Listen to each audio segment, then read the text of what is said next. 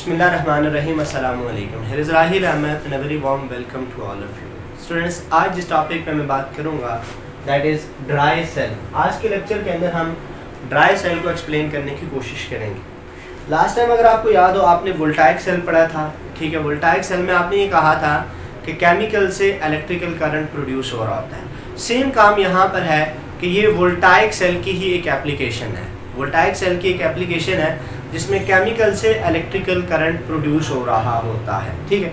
उसमें आपने फिर डिफरेंट टाइप्स पढ़ी थी reversible irreversible rechargeable not rechargeable ये सारी चीज़ें आपने डिस्कस की तो इसके लिए आपने बात याद रखनी है कि this dry cell is irreversible irreversible का मतलब कि ये रिचार्जेबल नहीं है, कि एक दफ़ा ये डिस्चार्ज हो गया तो हम इसको दोबारा से रिचार्ज नहीं कर सकते।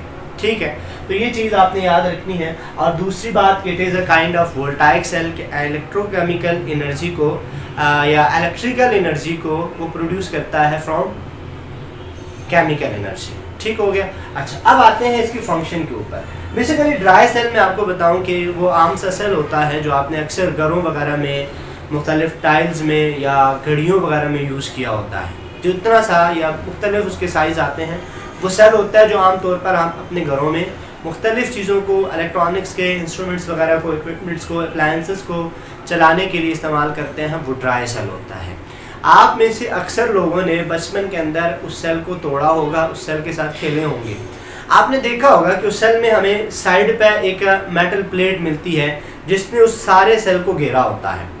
उसके अंदर एक कागज़ लगा होता है और उसके बीच में एक ब्लैक सॉलिड डिप होता है। ठीक है? और उसके साथ उसमें वाइट मटेरियल अगर नया सेल आप तोड़ें तो वाइट मटेरियल होता है और अगर पुराना तोड़ें तो वो ब्लैक मटेरियल होता है। इस पर हम बात करते हैं। सारी याद रखिएगा कि जो ड्राई सेल होता है, उसमें हमारे पास एक पूरा कंटेनर होता है। वो जो पतरी है सारी, जिसको आप तोड़ते हैं, और वो पूरी एक प्लेट से निकलती है that is of zinc zinc plate या जिंक कवर होती है, जो अराउंड उसके लिपटी होती है, उस, वो एनोड के तौर पर काम करती है। और उसके बीच में यहाँ पे हमने रखा, या डिप होता है ग्रेफाइट रॉड।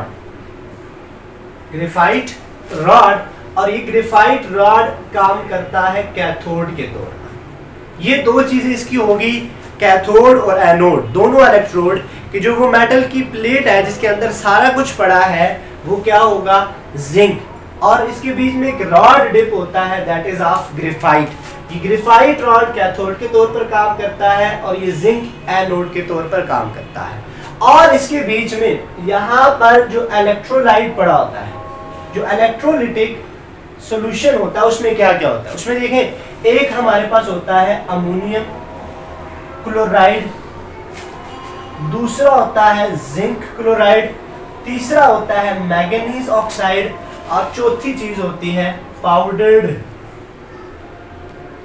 कार्बन। ये चार चीज़ें आपने याद रखनी है कि दीज आर इलेक्ट्रोलाइट बस ये टोटल इसका फ़ंक्शन है, इससे ज़्यादा कोई इसमें साइंस नहीं ये इलेक्ट्रोलाइट है, ये ग्रेफाइट इसका कैथोड होता है और ये जिंक इसका एनोड होता है। आपने अक्सर देखा होगा कि उसमें एक साइड पर पॉजिटिव साइन होता है, दूसरी साइड पर नेगेटिव साइन होता है। ठीक है? अब जब भी उस सेल को आप वैसे ओपन रखें तो वो डिस्चार्ज नहीं होता। एक लंबे अरसे के बाद जाके वो ख़राब होता है लेकिन अगर आप उसको वैसे इंस्ट्रूमेंट के बाहर रखें, वो डिस्चार्ज नहीं होता। लेकिन जैसे ही आप उसको किसी भी इंस्ट्रूमेंट में, किसी मशीन में, किसी वॉच में या किसी टॉय के अंदर रखते हैं तो वो डिस्चार्ज होना शुरू हो जाता है। उसमें आपने अक्सर देखा होगा कि हमारी जो चीज़ें होती हैं, उसमें एक तरफ़ यू स्प्रिंग बना होता है और एक तरफ़ ऐसी सिंपल सी यू साइड बनी होती है। हमने उनके अंदर अपने सेल को रखना होता है। ठीक है। तो अब क्या होता है कि जैसे ही आप इस सेल को उठा के इसके बीच में रखते हैं तो ये एक सर्किट कंप्लीट हो जाता है। जैसे ही सर्किट कंप्लीट होता है तो ये जो जिंक है एनोड के तौर पर, ये जिंक यहाँ से ऑक्सीडाइज होकर सोल्यूशन में जाता है जेड एन प्लस टू की फॉर्म में। और दो इलेक्ट्रॉन ये लूज करता है। ठीक है। अब ये जो दो इलेक्ट्रॉन जिंक से सोल्यूशन में आते हैं ये यहीं से एक्सटर्नल सर्किट से आपके जो इंस्ट्रूमेंट है, उसको चलाने में हेल्प करते हैं। ये जो इलेक्ट्रॉन है these are basically electric current जो वो मशीन जो घड़ी आप यूज़ कर, उसको चलाने में हेल्प करता है। ठीक है?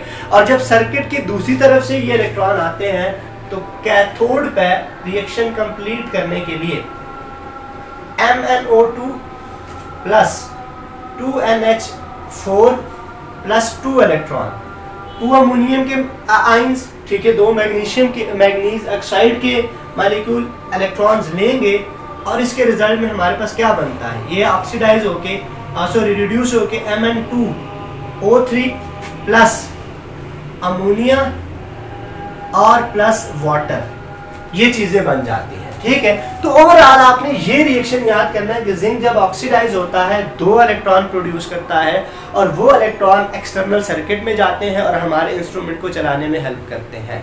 तो that's all about dry cell dry cell में टोटल का टोटल यही फ़ंक्शन है कि ये हमने इलेक्ट्रोलाइट है, ये कैथोड है और ये एनोड है। एनोड पर ये रिएक्शन होता है और कैथोड पर ये रिएक्शन होता है। आई होप ये ड्राई सेल आपको समझ में आया होगा। एक नेक्स्ट लेक्चर में एक नेक्स्ट टॉपिक के साथ मिलेंगे। उस वक्त तक दीजिए इजाज़त। अल्लाह हाफिज़।